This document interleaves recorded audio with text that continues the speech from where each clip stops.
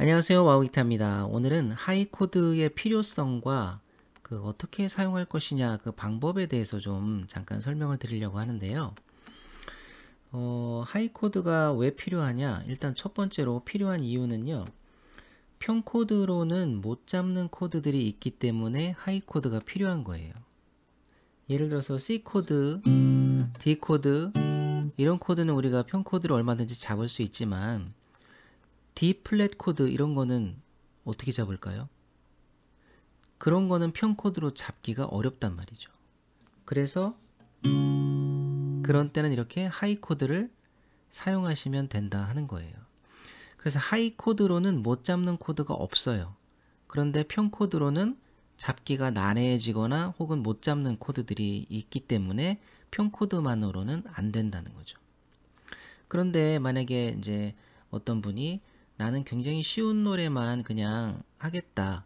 그냥 초보적인 수준의 그런 노래들만 한다. 이런 분이라면 굳이 아직 high 코드가 필요하시지는 않을 거예요. 그런데 이제 어려운 코드들이 나오기 시작하고 난해한 코드들이 나오기 시작하는 그런 노래들을 내가 잘 연주하려면 멋지게 연주하려면 high 코드를 이제 아시는 단계까지 가셔야 되겠죠. 자, 그러면은 high 코드를 어떻게 사용하면 되느냐? 간단하네요. 자, high 코드가 평 코드로는 못 잡는 코드들이 있기 때문에 필요하다라고 말씀드렸으니까 high 코드를 사용하는 방법 평 코드로 잡기 어려운 코드가 나올 때 high 코드로 잡는다. 이렇게 생각하시면 되겠네요. 자, 그 다음에 두 번째, 두 번째가 좀 중요합니다. 자, 두 번째 high 코드가 또 필요한 이유가 뭐냐면 코드 work을 잘 하기 위해서 high 코드가 필요해요. 자, 평코드들은요, 서로 연관성이 별로 없어요. 예를 들어서, 자, E 코드가 있습니다. D 코드, A 코드, 다시 E 코드. 자, 이런 코드 진행이 있다고 생각해 볼게요. 그럼 지금 E 코드, D 코드, A 코드, 세 개의 코드가 있는데 이 코드들이 연관성이 지금 있어 보이나요? 연관성이 없어 보여요. 그죠? 그냥 코드만 바꿨을 뿐이지 코드만 체인지했을 뿐이지 서로 연관성은 딱히 없어 보인단 말이에요. 그죠? 그런데 이걸 high 코드로 연주해 보면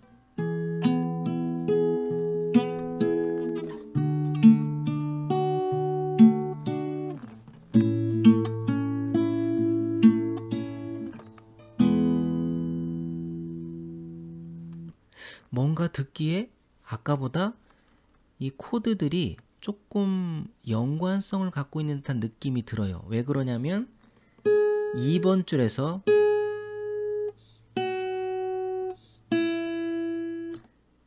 약간 이렇게 하행 진행하는 멜로디 라인을 만들어줬기 때문에 그래요.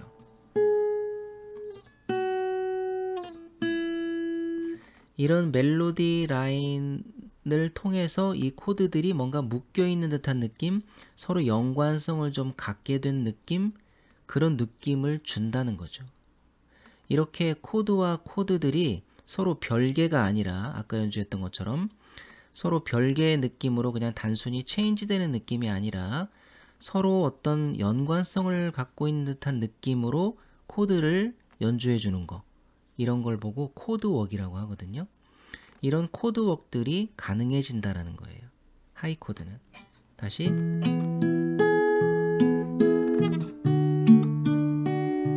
뭔가 연관성이 있는 것 같아요.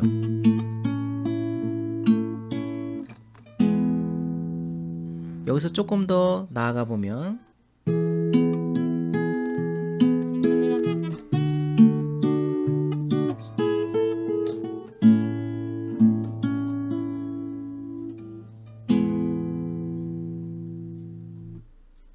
여기에다가 애드립까지 집어넣으니까 더 연관성이 더 짙어 보이죠. 그죠? 이런 식으로 똑같은 코드, E 코드, D 코드, A 코드인데 그냥 연관성 없이 연주할 수도 있지만 이렇게 연관성이 깊은 것처럼 코드와 코드들이 이렇게 연관성을 띠고 있는 것처럼 연주할 수도 있다라는 거예요. 이러면은 더 듣기가 좋다는 거죠. 이런 게 코드 work이라는 거고 이런 걸 하기 위해서는 이제 high 코드가 필요하다 하는 거예요. 참고로 말씀드리면 아까 요 코드 여기서 E 코드 잡아준 거죠. D 코드 잡아준 거죠. 그 다음에 애드립 요거는 A 코드예요. 이게 왜 A 코드냐? 우리 전에 inversion 코드 했었죠? 이렇게 잡으면 여기 A 코드였잖아요. 거기에 5번 줄 개방현이 A니까 그리고 1번 줄을 안 잡고 이렇게 두 줄만 잡고 5번 줄까지 함께 쳐준 게 이게 A 코드예요. 이렇게 그 다음에 마지막에 요 코드는 무엇이냐? 미 솔샵 C 미 솔샵 C면 이 코드네요. 6번 줄 개방현도 미니까 이렇게 치면 완벽한 이 코드가 되네요. 그래서 그 지판을 외우고 화성학을 어느 정도 아시는 게 중요한 거예요. 지판을 다 외우, 외우시고 미와 솔샵과 C가 들어가면 이 코드가 된다는 걸 아시는 분이라면 여기에서 이렇게 잡으면 이 코드가 된다는 게 그냥 보이게 돼 있어요. 나중에는. 그렇기 때문에 지판을 모르시고 화성학을 아직 모르시는 분들은 이런 게 잘 안 보이시겠죠. 예, 그래서 지판을 외우고 화성학을 아는 게 중요한 겁니다. 결국에는 high 코드와 inversion 코드와 스케일을 이용한 애드립과 이러한 그 화성학을 이용한 눈에 보이는 그냥 막 임의대로 잡는 이러한 것들이 전부 총체적으로 합쳐져서 남들이 하지 못하는 그런 좋은 코드 work, 코드와 코드의 연관성을 주면서 이렇게 연주하는 이런 것들을 할 수 있다는 거예요. 그래서 이런 것들을 하시기 위해서라도 high 코드가 필요하다 하는 겁니다. 그리고 이런 식으로 이용을 하시면 된다 하는 거예요.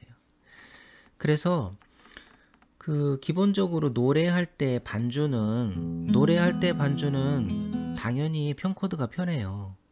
노래하는데 막 불필요하게 막 현란한 이런 막 테크닉을 넣는다든지 이렇게 하실 필요는 사실 없어요. 더 이상하게 될 확률이 높거든요. 그러니까 그냥 노래할 때 반주는 편코드를 이용하시는 게 제일 좋고 단 전주라든지 간주라든지 혹은 노래하는 중간에 뭐 애드립을 넣어야 되거나 어떤 코드웍을 뭔가 하고 싶은 그런 부분, 음가가 긴 부분에서 별로 할 게 없을 때 뭔가 좀 넣고 싶다.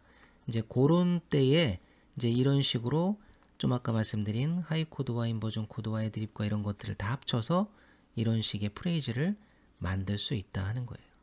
이런 식으로 이용하시면 좋다 하는 거예요. 이거를 갖다가 불필요하게 평코드에서 충분히 코드 잡으면서 노래하면서 반주할 수 있는 거를 굳이 어렵게 high 코드를 잡으면서 연주하라는 의미가 사실 아닌 거죠.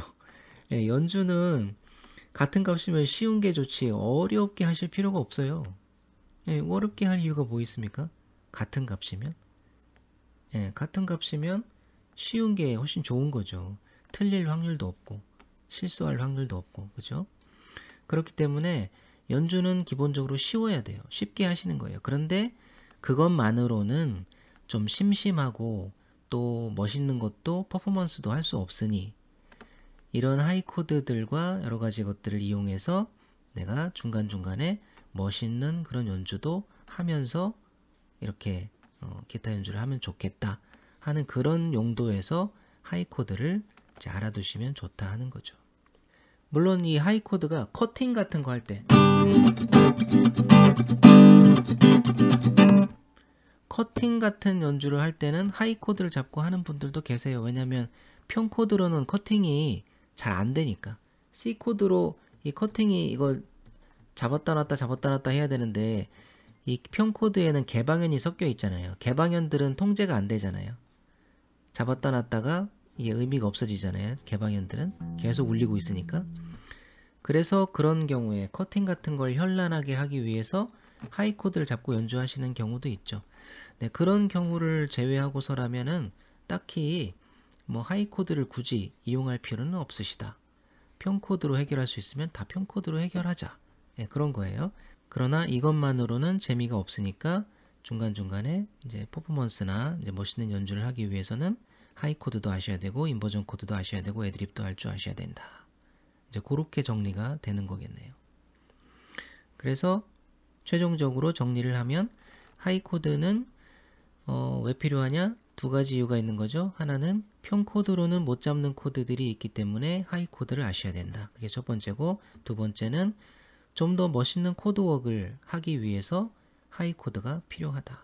그리고 high 코드뿐만 아니라 inversion 코드나 스케일도 아셔야 되고 애드립도 하실 수 있어야 되고 네, 그리고 가급적 지판도 다 외우시고 화성학도 아시면 내가 굉장히 훌륭한 그런 연주들을 중간중간 넣으면서도 연주할 수가 있다.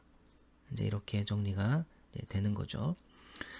어, 근데 이제 음악은 이제 수학이 아니기 때문에 수학은 이제 공식으로 정해져 있잖아요. 근데 음악은 수학과 비슷한 요소가 있지만 수학처럼 정해져 있지가 않아요. 수학은 1 더하기 1은 무조건 2잖아요. 근데 음악은 1 더하기 1이 때에 따라선 2가 될 수도 있지만 때에 따라선 그냥 1이 되기도 하고 3이 되기도 해요. 그러니까 음악은 수학과 비슷한 어떤 느낌이 있긴 하지만 수학과 같지는 않다. 그래서 음악이 예술인 거예요. 그래서 이 음악에서는 연구가 굉장히 많이 필요합니다. 이 high 코드도 뭐 어떤 색다른 방식으로 이렇게 사용을 할 수도 있어요. 네, 이게 정해진 어떤 공식이 아니니까 이 음악이라는 건 수학이 아니니까 예, 뭐 다양하게 뭐 나름대로 high 코드 사용하는 노하우가 있으실 수 있겠죠. 그렇기 때문에 이 많은 연구가 필요하다는 거예요. 예, 많이 연구하셔서 내가 이걸 어떻게 적절하게 이용할 것인가. 이 하이 코드를 쉬운 연주를 어렵게 하라고 이게 존재하는 게 아니고요. 어떻게 하면 이걸 이용해서 멋있는 연주, 좋은 연주를 할 수 있을까? 네, 이걸 자꾸 연구하는 거예요. 그렇기 때문에 많은 연구가 필요하다 하는 거를 생각하셔서 여러 가지 시도를 많이 해보시기 바랍니다. 네, 오늘은 여기까지 하도록 하겠습니다. 좋은 하루 되세요.